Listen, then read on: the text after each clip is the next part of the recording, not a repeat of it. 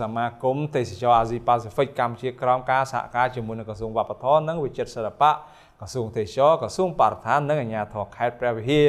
នឹងរៀបចំកម្មវិធីបាយាត្រាដើម្បីបេតិកភណ្ឌបាទបេតិកភណ្ឌនៅប្រាសាទព្រះវិហារបាទចាប់ពីថ្ងៃទី3បាទថានៅថ្ងៃទី4ខែធ្នូឆ្នាំ2022នេះបាទតាមលោកបាទធួនស៊ីណានប្រធានសមាគមទេសចរអាស៊ីប៉ាស៊ីហ្វិកកម្ពុជាកម្មវិធីនេះរៀបចំឡើងបាទក្នុងគោលបំណងដើម្បីចូលរួមចំណែកជួយស្ដារវិស័យទេសចរនិងសេដ្ឋកិច្ចដែលបានរងផលប៉ះពាល់ដោយសារតែបាទជំងឺ Covid-19 កន្លងមកនេះ ការបំផុសស្មារតីស្រឡាញ់បរិស្ថានដល់យុវជននិងរឹតចំណងមិត្តភាពជាមួយនឹងប្រទេសជិតខាងនិងអបអរទិវាជនពិការពិភពលោកក៏ស្ថិតនៅក្នុងគោលបំណងនៃការរៀបចំបាទព្រឹត្តិការណ៍នេះផងដែរក្រុមការងារសារព័ត៌មាន Digital Cam Bonus លំអិតលើរឿងរ៉ាវនេះដូចតទៅបាទ លោកធុនសេណានប្រធានសមាគមទេសចរអាស៊ីប៉ាស៊ីហ្វិកកម្ពុជាបានមានប្រសាសន៍ថាក្រោមការគ្រប់គ្រងពីក្រសួងពាក់ព័ន្ធសមាគមរបស់លោកនឹងរៀបចំកម្មវិធីយាត្រាដើម្បីបេតិកភណ្ឌលើកទី1នៅប្រាសាទព្រះវិហារក្នុងខេត្តព្រះវិហារចាប់ពីថ្ងៃទី3ដល់ថ្ងៃទី4ខែធ្នូឆ្នាំ2022ដើម្បីផ្សព្វផ្សាយពីវិស័យទេសចរនិងសម្បត្តិបេតិកភណ្ឌវប្បធម៌របស់កម្ពុជាឲ្យពិភពលោកបានស្គាល់កាន់តែច្បាស់បន្ថែមលើនេះគឺដើម្បីរួមចំណែកជួយស្ដារវិស័យទេសចរនិងសេដ្ឋកិច្ចកម្ពុជាបន្ទាប់ពីបានរងផលប៉ះពាល់យ៉ាងដំណំដោយសារការឆ្លងរាតត្បាតនៃជំងឺ Covid-19 នេះវាជាព្រឹត្តិការណ៍លើកទី1បំផុតដែលមិនដែលមានទេនៅក្នុងតំបន់ប្រាសាទព្រះវិហារនេះបាទវាជាព្រឹត្តិការណ៍ថ្មីហើយគោលបំណងធំធំដែលប្រពៃពិធីនេះឡើងគឺដើម្បីជំរុញនិងលើកស្ទួយនៅវិស័យទេសចរ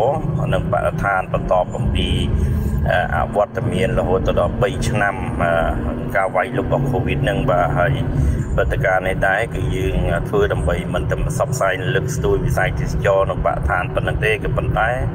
ក្នុងគោលបំណងដើម្បីផ្សព្វផ្សាយនៅបេតិកភណ្ឌពិភពលោកទៅកាន់មនុស្សជាតិបាទហើយដើម្បីលើកបង្កើននៅមិត្តភាពបាទជាមួយប្រទេសជិតខាងក៏ដូចជាប្រទេសនៅក្នុងតំបន់អាស៊ានទាំងមូលហ្នឹងដើម្បីបង្កើននៅរឹតចំណងមិត្តភាពឲ្យបាន កាន់តែខ្លាំងក្លាហើយដើម្បីជំរុញនៅវិស័យទេសចរហ្នឹងទៅវិញទៅមកមានការផ្លាស់ប្ដូរឲ្យបានកាន់តែទូលំទូលាយជាងនឹងទៀតបាទ ខ្ញុំអាចនិយាយបានថានៅទីនេះតាំងពីយើងមានបញ្ហាជាមួយប្រទេសជិតខាងមកគឺយើងមិនមានវត្តមានភ្ញៀវជនជាតិថៃទេក៏ប៉ុន្តែបន្ទាប់ពីយើងធ្វើការផ្សព្វផ្សាយទ្រង់ទ្រីធំនៅក្នុងរយៈពេលប្រមាណ2ខែនេះជាមួយនឹងមិត្តថៃរបស់យើងយើងឃើញថាជារៀងរាល់សប្តាហ៍យើងមានភ្ញៀវថៃចេញចូល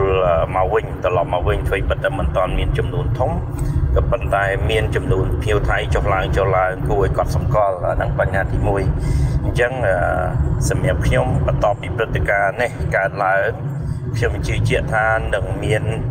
ភ្ញៀវថៃភ្ញៀវខ្មែរពីបណ្ដាខេត្តដទៃទៀតនឹងមកលេងឲ្យបានច្រើនកកកនៅក្នុងនឹងប្រធានសមាគមទេសចរអាស៊ីប៉ាស៊ីហ្វិកកម្ពុជារូបនេះរំពឹងថាតាមរយៈព្រឹត្តិការណ៍កីឡាបែបទេសចរមួយនេះវានឹងជួយទាក់ទាញភ្ញៀវទេសចរជាតិនិងអន្តរជាតិជាពិសេសភ្ញៀវទេសចរជនជាតិថៃ